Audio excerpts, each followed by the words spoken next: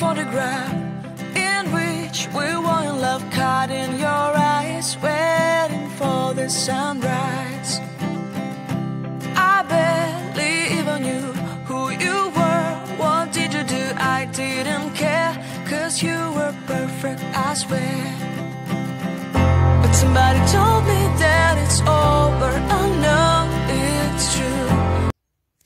Good morning, and it's the 9th of April today, and this is what I'm having for my breakfast. So there's 40 grams of Cheerios. Well, they're actually the Tesco's own branded ones, but 40 grams of those for my Healthy Extra B. I've got Mueller Light for half a sin, an apple, an orange for speed, a banana, which is free, and a coffee using 20ml of my first Healthy Extra A. So half a sin for breakfast today, and I'll catch you at lunch. Bye.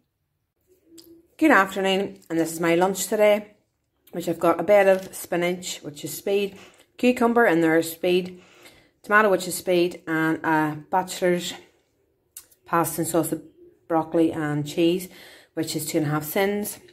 I've got a Mueller Light for half a sin, a banana which is free, and an apple and an orange which is speed.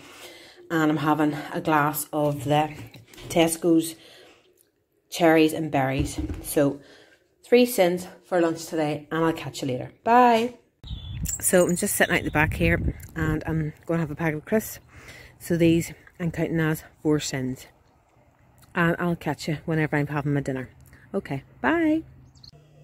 Good evening, and this is what I'm having for my dinner tonight, which is leftover the tuna and pasta bake that I made yesterday. So it's free because I'm using the cheese for my second part of my first healthy extra A. I've also got spinach, cucumber and tomato for speed. So no sins for dinner tonight and I'll catch you for snacks. Good evening and this is what I'm having for my snacks tonight. So I have rice pudding here which is free and the almond milk is my second healthy extra A. I've put one of these Whitworths berry and white chocolate shots in my pudding whenever it was heated up.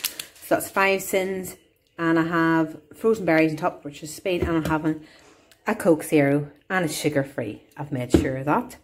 So today I'm finishing on 12 and a half sins and I'll catch you tomorrow. Bye.